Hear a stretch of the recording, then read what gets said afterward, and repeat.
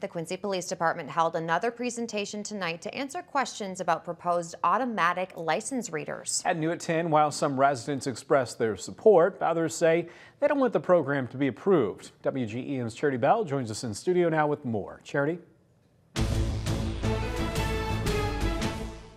Daniel and Mackenzie, about 40 people attended the nearly three-hour meeting tonight. Some people tell me they changed their minds after the presentation, but the general consensus is residents are concerned with the possible program.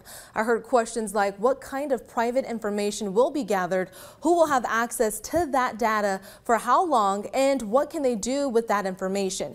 Quincy Police Chief Adam Yates says the cameras are designed to take pictures of the back of license plates and can be used in a number of situations. Yates says the license readers will not have access to driver's license information, vehicle registration, concealed carry status, or Illinois specific warrants. He says Quincy owns the photos and has the discretion to share them with other jurisdictions to help them in their investigations, but no other entity has direct access to the photos. Second Ward Alderman Jeff Bergman says he wants to help the Police Department get the tools it needs to solve and prevent crime while also at the same time protecting the rights of Quincy residents. So whether stolen cars, if a car was used in a crime, so it's wanted for a particular crime, we would, you know, and it was entered into NCIC, we would get that information. If it's part of an Amber Alert, that would go in the NCIC computer and we would know if it came to Quincy. Uh, if there was someone that was elderly that was missing or someone that was suicidal and we had enough information to have that plate in the computer, we would get a hit on that plate and we would know that that car was in Quincy and then we would begin searching for it. Uh, we have the funding mechanism with the budget to control this and it will be stopped if it becomes an issue. So just let the public realize that our concern is to protect their constitutional right in this while giving the police department a method to help solve crimes and prevent crimes.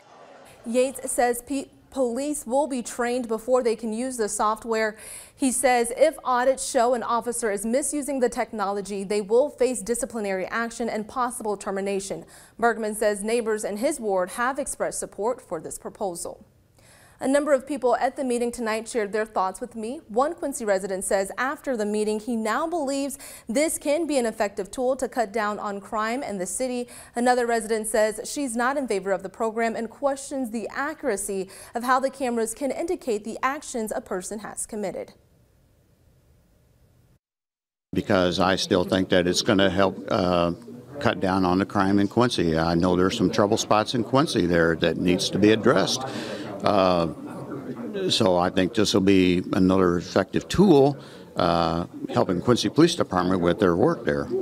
My thoughts are um, I hope that the City Council, after tonight and listening to opinions and voices of the people, realize that we are opposed to it um, and, and, just listen to our thoughts and opinions on it.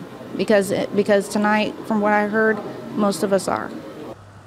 Chief Yates says they're working on writing up a, a, use policy for the program and hope to have it done by Friday. He says Flock provides a portal that residents would be able to access to see how the cameras are being used And Quincy.